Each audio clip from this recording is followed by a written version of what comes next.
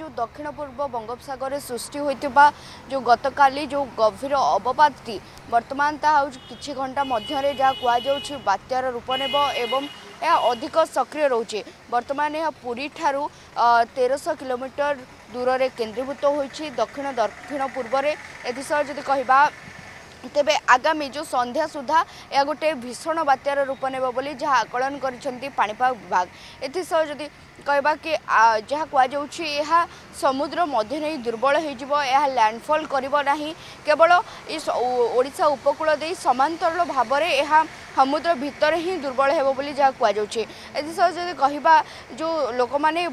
ଭୟରେ ରହୁଥିଲେ ବା ଶଙ୍କା ରହୁଥିଲା ତାହା କିଛି ମାତ୍ରାରେ ମାନେ ଶାନ୍ତ ହୋଇଛି ବୋଲି କହିପାରିବା କାହିଁକିନା ଯେଉଁ ଭୟ ଥିଲା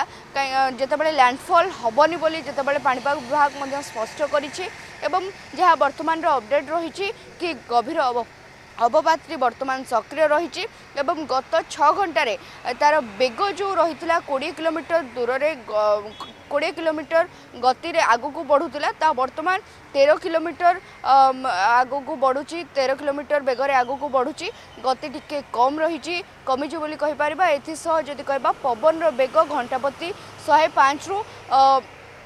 ଅଧିକ ରହୁଛି ଏଥିସହ ଯଦି କହିବା ତା ସହିତ ଲୋକ ଯେଉଁ ବାତ୍ୟାର ରୂପ ସନ୍ଧ୍ୟା ସୁଦ୍ଧା ହିଁ ନେବ ବୋଲି ଯାହା କୁହାଯାଉଛି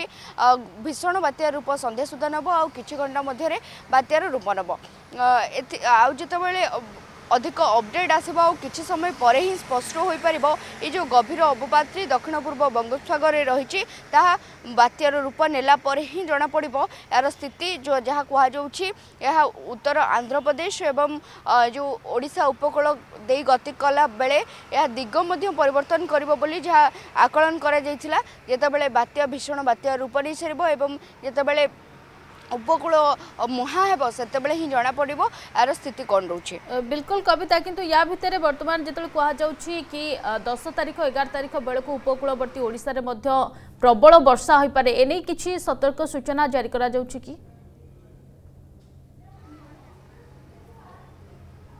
ନିହାତି ଭାବରେ ଯେତେବେଳେ କାଲି ମଧ୍ୟ କୁହାଯାଉଥିଲା ବର୍ଷା ନେଇକି ମଧ୍ୟ କିଛି ଜିଲ୍ଲାକୁ ୟେଲୋ ୱାର୍ଣ୍ଣିଂ ଜାରି କରାଯାଇଥିଲା ଯେହେତୁ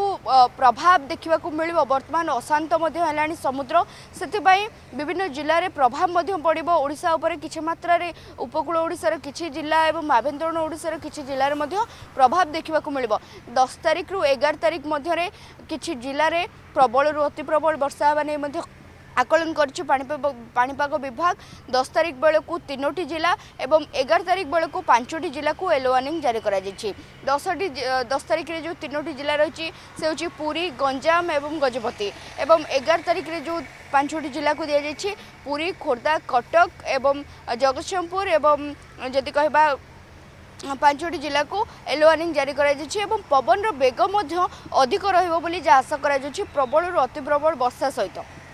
ବିଲକୁଲ କବିତା ବହୁତ ବହୁତ ଧନ୍ୟବାଦ ଆପଣଙ୍କର ତମାମ ସୂଚନା ପାଇଁ କବିତା ସ୍ୱାଇଁ ଆମ ପ୍ରତିନିଧି ଆମ ସହିତ ଯୋଡ଼ି ହୋଇଥିଲେ ଏବଂ ବର୍ତ୍ତମାନ ବାତ୍ୟା ସମ୍ପର୍କିତ ଆମକୁ ଅଧିକ ସୂଚନା ଦେଇଥିଲେ